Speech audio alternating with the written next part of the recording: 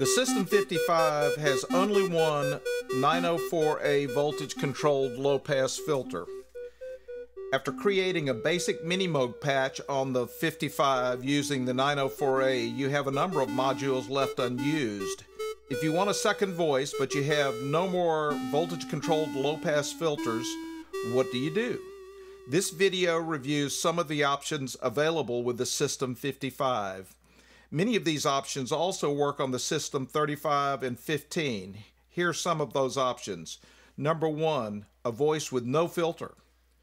Number two, a voice with one of the fixed filters included in the System 55, 35, and 15, for instance, the 914 fixed filter bank or the 923 analog dual filter. Option three is to create a voice with a 904B voltage controlled high pass filter. Note that there's no resonance on that filter. Number four, you could create a voice that emulates a voltage controlled low pass filter using a VCA and two outputs from the same VCO. How do you do that, you ask? Let's review the patch. We'll use one VCO, one envelope generator, and two VCAs. First, we'll make a simple filterless voice that you might use for a recorder or flute-like patch. The patch will use a MIDI keyboard connected to the CMA1 MIDI to CV converter. The keyboard CV will go to the 921A oscillator driver and then to the single 921B voltage controlled oscillator. The S trigger gate will go to the 911 envelope generator. We'll use the 921B VCO sine or triangle output going directly to the VCA audio input. The VCA output will be our voice output. So we've got the triangle output going into the audio input of the VCA, and then the audio output is going to the output mixer that we're using, and the output of that goes to our mixer that we're recording with. Note that the 911 envelope output goes to both VCAs into the control input. So let's listen to that recorder patch. We're going to be using this 921 oscillator for vibrato.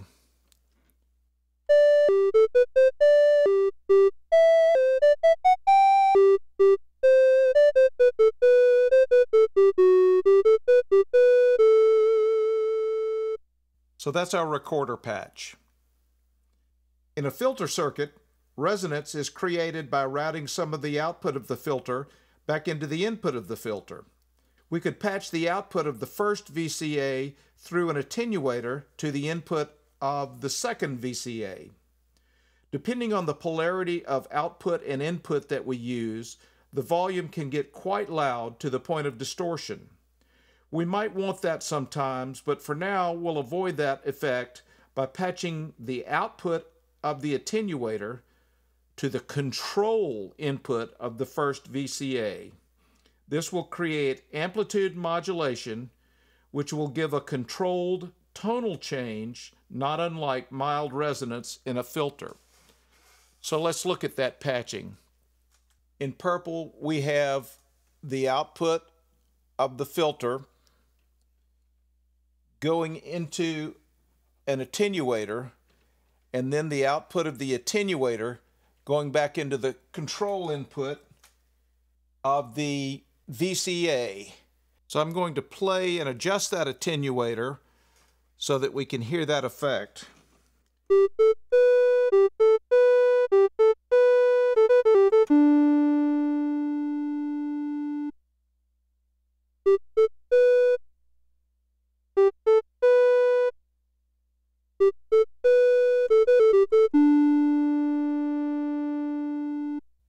This feature will create a simulated resonance in the pseudo filter that we're about to create.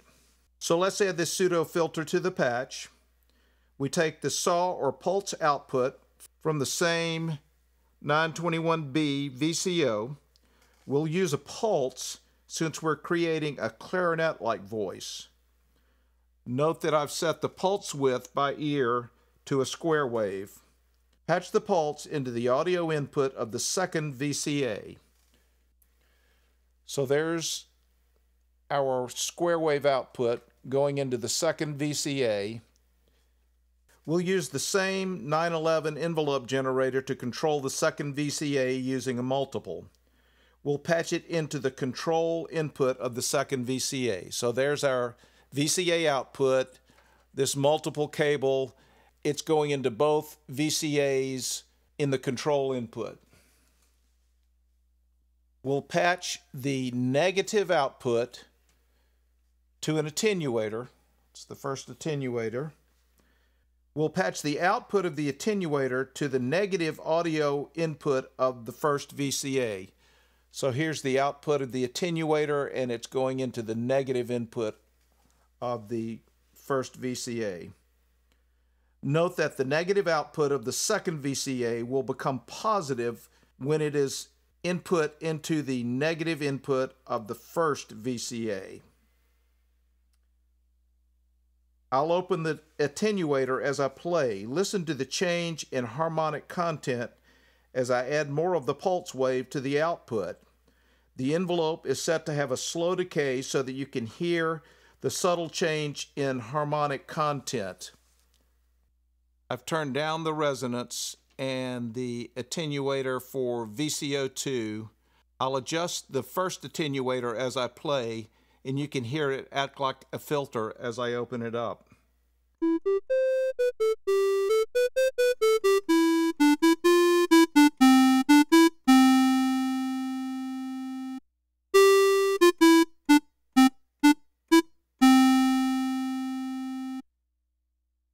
Now let me adjust the resonance.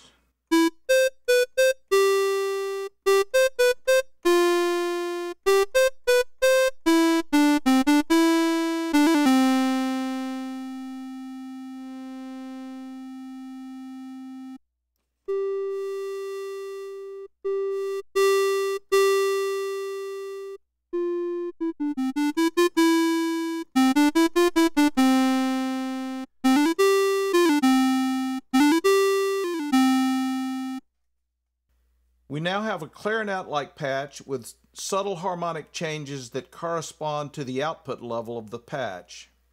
Note that we could use separate envelope generators for the filter and the VCA, but it works pretty well with just a single one. Of course, we could just buy a second voltage control filter module. A multimode filter would be a good choice. I'm using one of these in my row 4 voice driven by the second 960 sequencer. Even with a multimode filter, the techniques that we use may be helpful in your other patches. I hope you enjoyed the video. Thanks for watching.